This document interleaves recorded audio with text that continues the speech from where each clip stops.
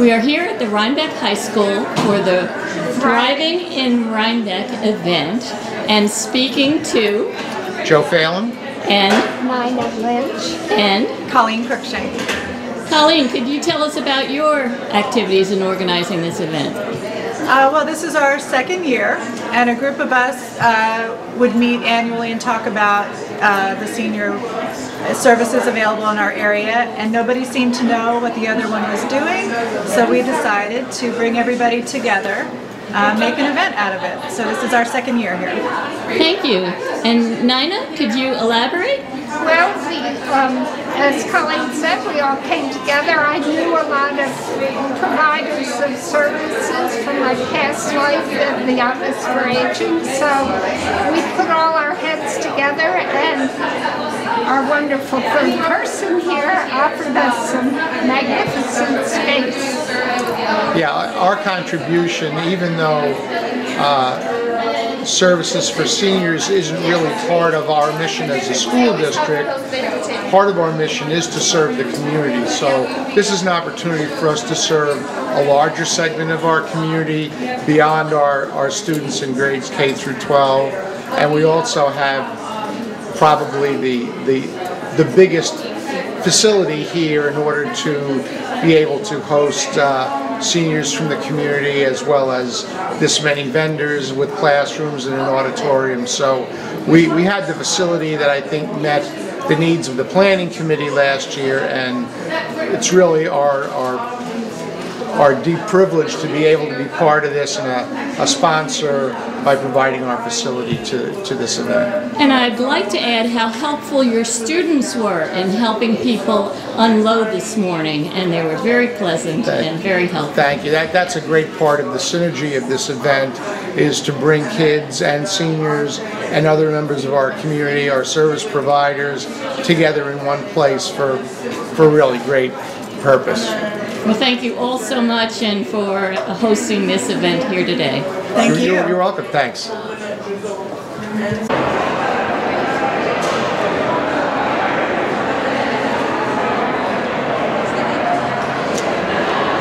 We are here with, Jan Scriber. And? And June Vanderlaan.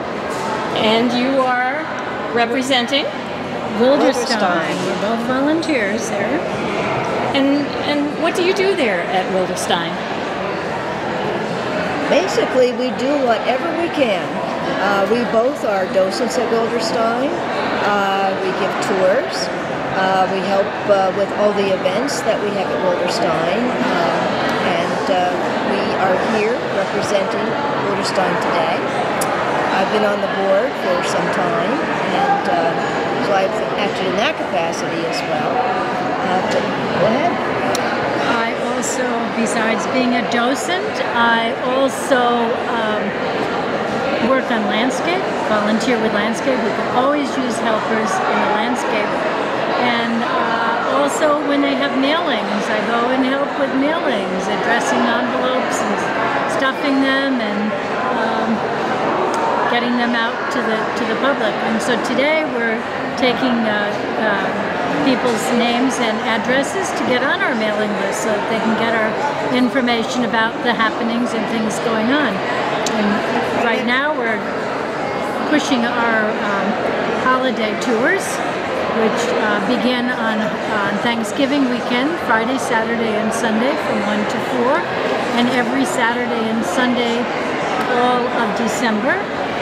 Not on Christmas Day, but we will be open the two days after, the 26th and 27th. And we will be having our, our annual holiday tea on December 10th, um, which includes not only uh, a wonderful assortment of sandwiches and desserts, uh, but a tour of the home, uh, which is decorated for Christmas by some of our local florists and some of our volunteers. So we welcome everybody during the holiday season. It's a special time at Wilderstein.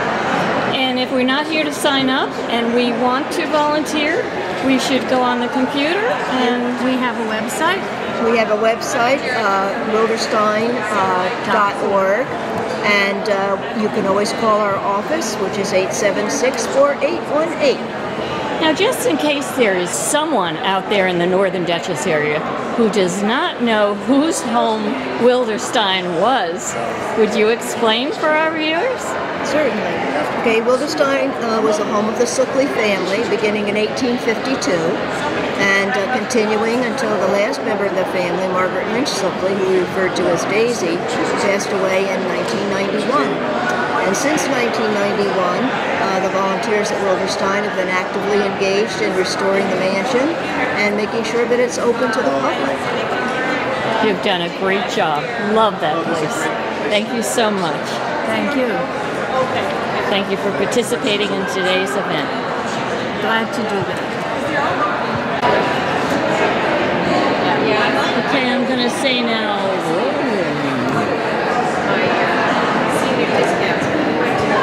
And who am I talking to? Good morning, this is Brent Swerdloff. I'm with FlexYourMemory.com. And uh, how do you help people with their memory? Um, I help people of all ages actually strengthen their mental agility, maximize their brain fitness. People often think about diet and exercise and rest as part of overall health, but they don't think about elasticity of their brain as much. And in an age of over-reliance on digital technology, we tend to outsource a lot of our memory to our devices and not do as much internally. So I, I say we should do for our brains what we do for our bodies, exercise it, remember more, and it helps our engagement with each other and with the material that we need to learn. And uh, how do people access your services? They can go to my website, flexyourmemory.com. They can find lots of resources, including my book that specializes in how to remember people's names. Um, I also do interviews with Broadway actors about their technique for memorizing their, their scripts. Musical theater, Shakespeare, Stoppard, Beckett, all kinds of some very difficult, complex material. They talk about how they approach it and engage with it. And everyday citizens can learn how to use that too and improve their memory. So they can learn from the actors through the interviews. Uh, what else do I have on there? Uh, resources, uh, extensive bibliography of books on our interaction with computers, uh, brain fitness in general, and even fiction works about um, how the mind works. And repeat for us, please, your name and your website. Sure, Brent Swerdloff at flexyourmemory.com. Great. Thanks for speaking with us. Sure, thank you, Kathy. Am I rolling? I feel it's Yeah. Okay. Hi. Hi, I'm Kate. We're at Sunflower Natural Foods in Rhinebeck. You can find us right on Garden Street. Um, I run the vitamin department over there. Uh, we're really happy to be here today. Uh, we love our seniors. We offer a senior discount every day. And uh, yeah, thank you for having us and supporting us. Now, besides the senior discount, I understand you offer also offer a members discount. We do offer member spe special member pricing um, in addition to the senior discount. Um, so that's a lot of fun for people. Um, yeah, and we like supporting our community because you guys support us. And besides vitamins, I, I understand you have a cafe. We do have a cafe with a juice bar, smoothies, fresh food. Um, we have it uh, ready to eat so you can grab and go or you can order and eat. Um, we've got a nice little setup inside and outside during the summer months. Um, yeah, we also have a great produce section. Um, got a great meat and cheese cooler. We try to be a one-stop shop for everybody. Is it all organic, your produce? All of our produce is organic, yes. Okay, great. Thank you. Yeah, no problem. Bye.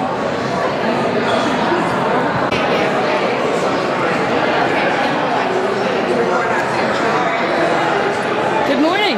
Good morning. And I am talking to Colleen Mountford. Colleen. Glad to meet you. And you are with? Next Step Home. T- tell me about Next Step Home. Uh, we're professional organizers. Um, we specialize in move management and helping seniors when they need to downsize. Um, or we can also help seniors when they want to stay in their own home, but they need to reorganize the home, make it work better for them today than it did 30 years ago. Uh huh. Um, we uh, do a lot of small things. Uh, we have a Christmas special going right now where we're helping people, seniors especially, who just don't have the um, strength to put up Christmas decorations anymore. We'll come in for two hours and put up your Christmas tree and decorate, and then we'll come back again after Christmas and take it all down and put it away. Um, some people don't have the time to go Christmas shopping or the energy, and so we'll go out and get it for them. We'll wrap everything and put it under the tree. Um, Christmas cards. It depends on whatever anybody's needs are. We are uh, three of us are professional organizers, and uh, we're, we enjoy what we do. We like it. Colleen, how long have you been in business? I've been in business only three years, but I have 25 years of uh, social work experience. So I bring the skill set from that to the um, Hudson, you know, to this project. Wonderful. I love it. Okay, and if we want to find you, give us a telephone number or 594 5913. got it. Thanks Thank for you. sharing. See, that wasn't so hard. Now do him. Okay, and I am talking to your name. Gay, Gay Galitzin. I'm on the board of the Circle of Friends for the Dying. And um, tell me about the organization. Well, the organisation started about three or four years ago in Kingston, in Ulster County, and it was inspired by the, the idea that uh, there are about 25 of these homes that we want to start in, in Kingston. There are already 25 of them further upstate. And it's a place where people who can no longer stay in their own home when they've had a terminal diagnosis of three months or less, and very often they can't stay in their own home because there's no one to look after them. And when hospice is called in, they have to evaluate how safe they are. And if there's no one there to look after them 24 hours a day, hospice will try and find someone, or eventually they may have to put this person into a nursing home. And these homes, like the one that we've bought here in Kingston, will become an alternative to a nursing home. It's a place where somebody can go and it becomes like their own home. It's a place where their family and friends can come anytime. They can stay overnight if they need to. They can cook meals. They can have family parties. The children can play in the garden. And these people will have their own their own room and access to the outside through a, a, a deck. And uh, it costs nothing because this is a neighborhood-based, community-based venture. Hospice will look after their medical needs, but volunteers from the neighborhood, people like you and everybody watching this, can, can offer their time either to come and help look after someone um, an, an hour or two a week if they want, or they can mow the grass, or they can um, do the washing. It's it's an idea that brings people in touch with those who are dying. We, we tend, we have for the last 50 or 60 years, we've pushed the, de- uh, the ill and the dying and the elderly out of our line of sight. They go into closed communities, into nursing homes, and so we become very scared of dying. And one of the things that a Circle of Friends wants to do is to increase the conversation around dying and death so that people have a chance to prepare for their own dying and death and don't die anxious and with so many things unsaid, that they have a, a chance to talk to people and to talk to their families about what they want. One of the things that we're doing, apart from opening this home, once we've uh, raised $300,000 for the renovations necessary, one of the things we've been doing for several years, four years now, is a death cafe. A death cafe is a place where people can come and talk about all those issues surrounding dying, being ill, and, and death without somebody saying, oh, I don't want to talk about that. Oh, no, can't talk about that. This is a place where you can sit with three or four other people over coffee and cake and just talk about it. And talk about maybe a friend of yours has got a, a, a difficult uh, diagnosis, or your family or your children won't let you talk about what you want to talk about in terms of what you want for your death. And it's a place that's, it, it has no agenda. You simply come, you talk, and then you say goodbye and you leave. So that, those are the things that we want to do. We want to provide competent, caring uh, care for our people who are at the end of life, and we want to increase the conversation around dying and death. And we're doing it now in Ulster. We are also talking to people in Dutchess County about a future house here. We would be very interested in having a house in Dutchess County. Is the uh, house in Kingston the only such house? It's the only house that we're involved in. Uh-huh. But as I said, there are 25 of these houses. Some of them have been going over 25 years. In this area? No, in upstate New York. It started in Ro- in Rochester. The t- city of Rochester has seven of these houses in in different neighborhoods, and they're totally supported by the local neighborhood. And that's the idea. This is a neighborhood, a community. Your friends and neighbors are part of this. Thank you so much for your information. Okay, I'm delighted to tell you. We're going to have to do some editing. You did great.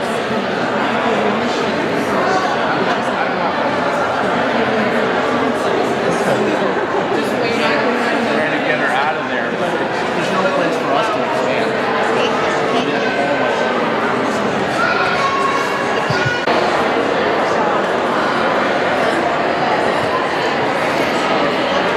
Okay, we're talking to the people at Hope, helping other people everywhere.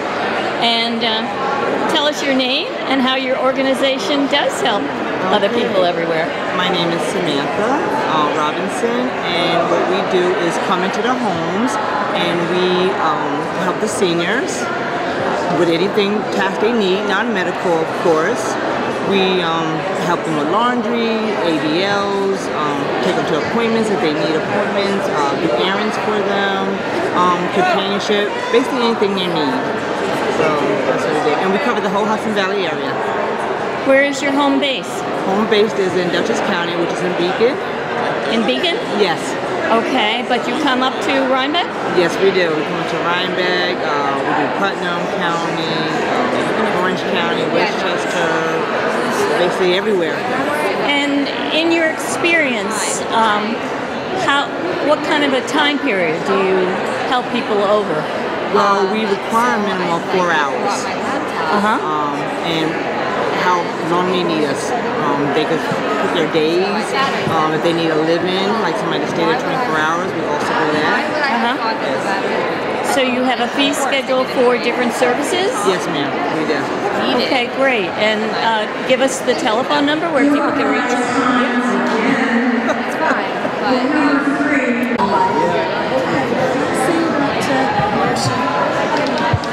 We're here at the table for Rhinebeck at Home, and we're speaking with Ellen Hubbard. Hi, Ellen. Tell, tell us something about Rhinebeck at Home. Rhinebeck at Home is about four years old, and we are a fully volunteer organization. We try to keep people uh, in Rhinebeck connected to the community, and we also are helpful. If you need to ha- have a ride to physical therapy, we can take you. If you've been ill and in the hospital, we take meals to you. We have a walking group. We have a lunch group of people who like to go to movies. In the afternoon, we have all kinds of things. And we have a once a month meeting that everyone is welcome to come to. And um, if you want to get our uh, address or website, you can have one of these. And um, we have uh, about 110 members. And um, it's really wonderful. Younger people than I have joined because they want this organization to be around when they get to be my age. And I bet if we uh, searched Thriving Rhinebeck at Home, rather, Rhinebeck at Home on the uh, computer, Yes. it would come up with your website. Yes, and uh, it's really quite an amazing thing. And Nina Lynch is the one who started it all. Thank you. Thank you. I have I have no use for irony. You know, to my mind, it's all organic. Wrinkles are fine. Well, I was coming to Rhinebeck, so from East Fishkill, I mean, I thought, let me try to be wrinkle free. But that didn't work out too well. So uh, we are here talking with Susan Davidson. And you are with? Friends of Seniors of Dutchess County. Okay, please tell us something about the Friends of Seniors. Well, Friends of Seniors has been around 12 years now. We provide a basic support system to the older adult community in Dutchess County. We provide non-emergency medical transportation, doctors, physical therapy, same-day surgery, labs. We also provide grocery shopping for people who have no other means to get food. We either take senior shopping with us or we shop for them.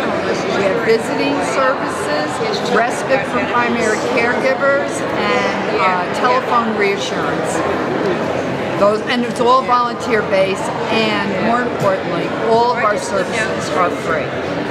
Fabulous. If we want to get in touch with you, how do we find you? Uh, 845 485 1277. Well, thank you so much, and thank you for your good work. And thank you. All right. Thanks for asking. So,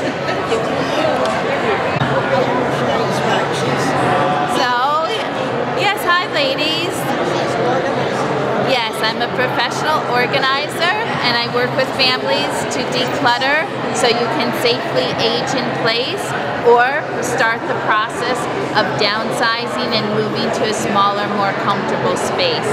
So I'm here to help, soup to nuts. I always offer complimentary consultations over a cup of tea and I'd love to speak with you if you think you might need services to declutter, be safe, be happy. Uh, could you tell us your name again and your and the name of your organization? Absolutely. My name is Colleen Ash, and I'm owner and founder of Ash Organizing Solutions. I'm based in the town of Poughkeepsie, but I serve all of the Mid Hudson Valley. I absolutely love what I do. I'm one of those individuals that can say they were born organized. So thank you. It's it's uh, so wonderful. I, I do appreciate the whole concept of uh, downsizing your stuff and making life more manageable. I'm going That's take a right. couple of pictures of. uh, Absolutely. I always say start small, start with your junk drawer. So we all have at least one or two of these. This is the junk drawer before, and then here it is, a junk drawer after. With a simple, just finishing up time and some uh, simple tools, you too can declutter your junk drawer. Start small. Sometimes just getting started is the hardest part. Approximately how long does it uh, take you, uh, months or however, to achieve your desired goal with the, your clients? It really depends. Some clients I'm in and out in just a couple of sessions. Other clients I've worked with for years. It really depends on the client, their goals, and the project scope. Okay. I'm going to swirl over to your telephone number so people might uh, be able to give you a call. Well, thank you very much. That's 845-242-2869. Thank, you. Thank you. Thank you. Hi, I am speaking to Dottie Distal. Hi, Dottie. And you are with? I'm with the Office for Aging Matter of Balance program. My son said my official name was boring. Tell me about that program. Well, the Matter of Balance program is an eight-week long course that was designed for seniors who have fears and concerns about falling. And it's really a nice, it's a small, uh, usually about 12 to 14 people are involved in a class where there's an exercise component to it, there's a health education component, there's a cognitive restructuring piece to help people become more willing to advocate for themselves. Um, and there's a home safety and community safety program where there's problem solving. Um, and it's really designed to help people take a look at and be proactive in preventing falls. And, when do you offer these programs?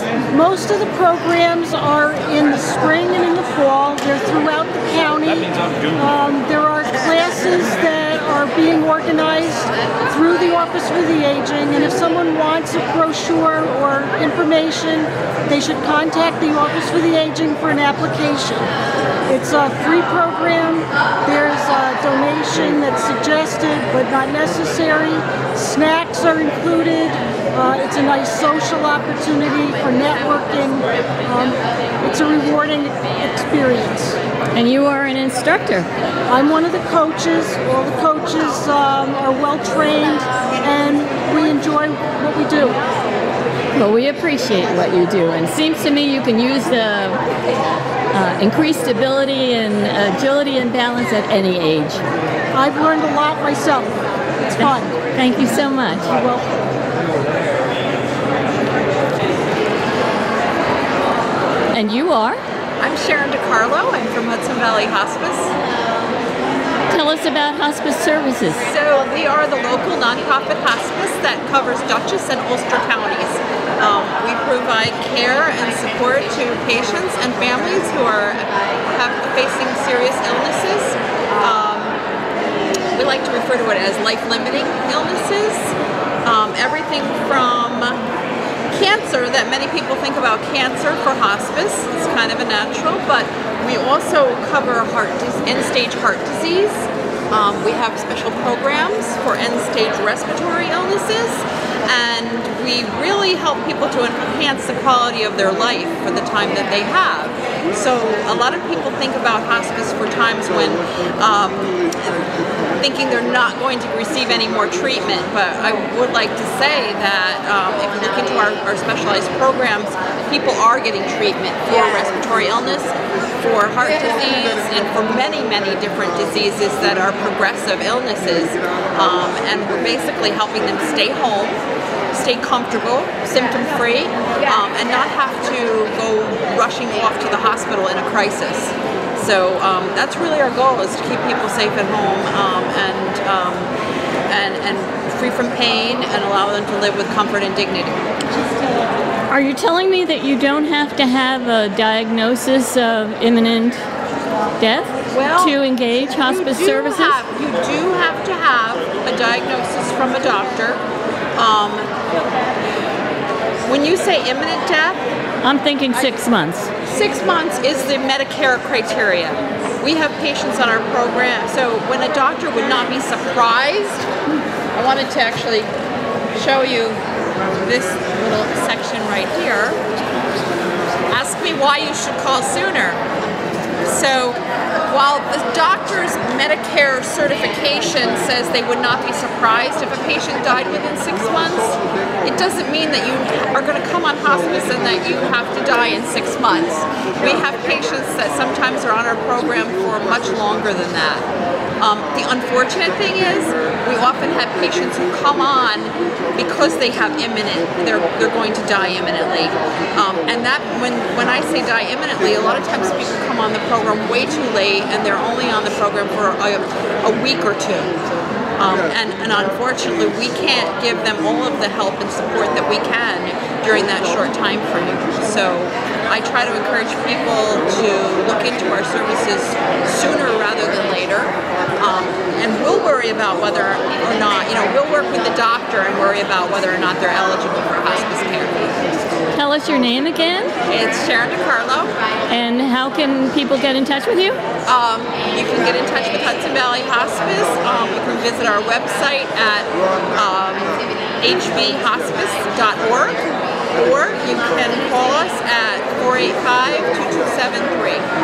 Um, and that will connect both to, uh, we can transfer to our Kingston office as well. We have a satellite office in Kingston. That's our main number. I know you do wonderful work, and thank you so much. Thank you.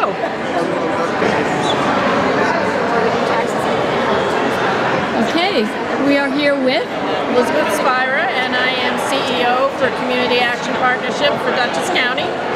And we are a not-for-profit serving low-income families, helping them to become more self-sufficient.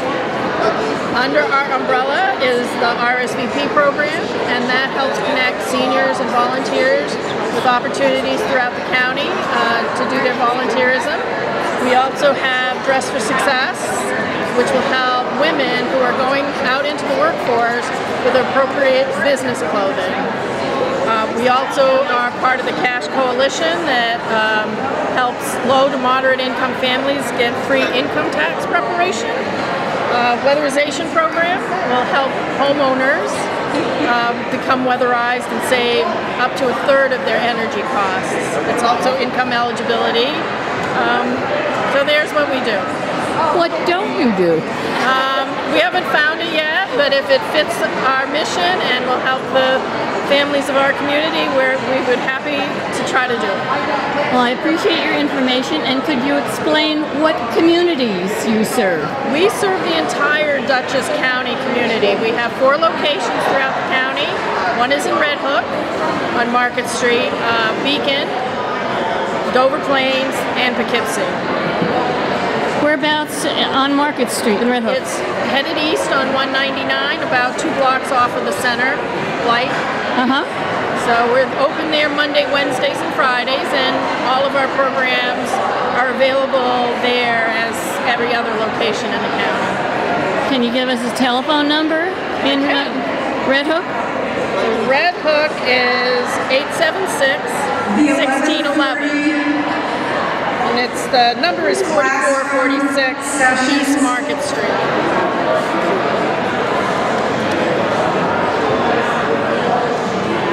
Now, if you'd be so kind to tell us a little bit more about the RSVP program. The Retired Senior and Volunteer Program helps connect seniors looking for volunteer opportunities and connect them with stations, we call them stations throughout the county, that are looking for volunteers. We find it's important to connect the volunteer and what he wants to do or he or she wants to do with an opportunity that suits both. So there's several locations throughout the county that are always looking for volunteers. Uh, some are the meal delivery programs. Uh, the the um, the hospital in Rhinebeck needs some help. So all of these sites that rely on volunteers for part of their work are always looking for volunteers. How long have you been affiliated with the uh, I've been with? Community Action for 16 years. Uh-huh. I've been in my current position for six years. So, um, yeah, I've been here a while and I enjoy the work I do. It's rewarding to help in whatever way you can with the, all of your residents of your county. We appreciate your service. Thank you. Thank you very much. We are here at the League of Women Voters of the Mid-Hudson Regions table. And we have first Ann Needham, and I'm the Vice President of the uh, Mid-Hudson League of Women Voters. Um, we are here to talk about materials management.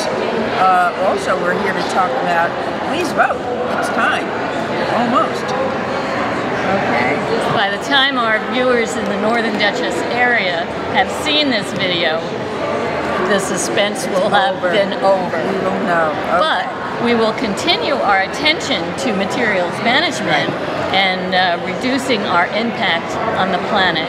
And we encourage anybody who might want to get in touch with us and meet with us once a month at uh, a restaurant across the river. Uh, you'd be mo- more than welcome. Please go on our website, which is lwvmidhudson.org, where you'll see a newsletter or other information about our materials management study group and voter information. And we have this little brochure which tells you all about our local league. And it's kind of important because we do work locally in Dutchess and in Ulster counties.